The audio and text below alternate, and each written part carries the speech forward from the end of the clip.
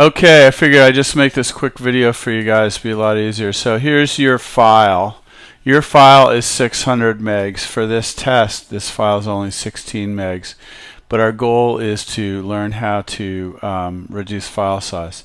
Uh, so the, the theory is the same. So what you need to do is uh, download uh, some software and it's called MPEG Streamclip and here it is. And download the Windows version. So download and install that. So once that's installed um, you launch uh, you launch it. And then you hit file open. And you choose your movie. Okay now there's a couple different ways to do this. Um, basically uh, if you wanted to, th this is not what you want to do for this video because you told me that, but let's say you wanted to make the video shorter. You had Austin playing an hour, so you want to pick one of his songs.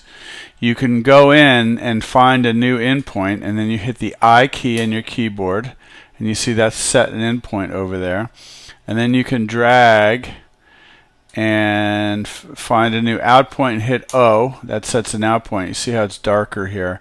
There's the in and the out. Then what you would do is go up here to File and you would hit Save As. And Save As preserves the original um, codec and encoding quality and but it's good for just cutting down time wise but in your case you are not doing that you are using the uh, entire video or or maybe you know maybe you'll go and slightly adjust the in point on this video um, and maybe slightly adjust the out point but basically or you could just leave it default to the full in and out. Now for you guys you're going to go back up to file but you're going to go export to MPEG 4 and that brings up this window. Now everything you're going to be doing with this involves this slider right here.